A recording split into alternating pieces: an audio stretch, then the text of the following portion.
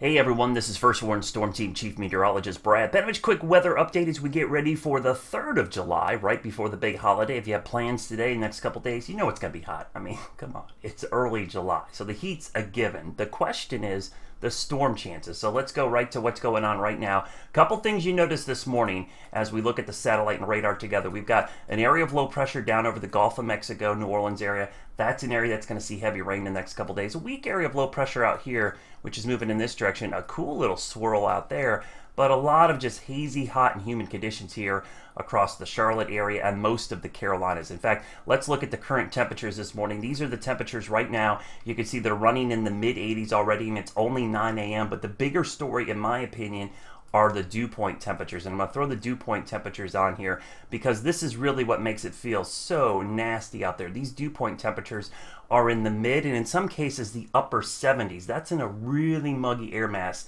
for this time of year. And that ends up giving you heat indices, which I'll show you right now, that are already in the low 90s here at 9 o'clock in the morning. So pretty muggy setup out there. So let's look at what's going to happen this afternoon as far as scattered showers are concerned.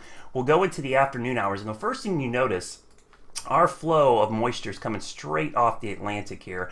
Um, so we are going to see things moving from east to west. So I'll go in real close here. And you can see this is right around 2 o'clock this afternoon. We've already got some pop-up showers, 3, 4, but really it's around 4, 5 o'clock. This is the time frame the next couple of days that we see the highest risk for a shower or thunderstorm, um, even into the 4th of July. So just planning ahead for tomorrow, um, just be ready around that 3, 4, 5, 6 o'clock time frame for a scatter shower. But temperatures will be well into the mid 90s and it'll feel Tuesday, everybody. And stay tuned for updates. I'll be tracking the storms throughout the holiday. Have a great day.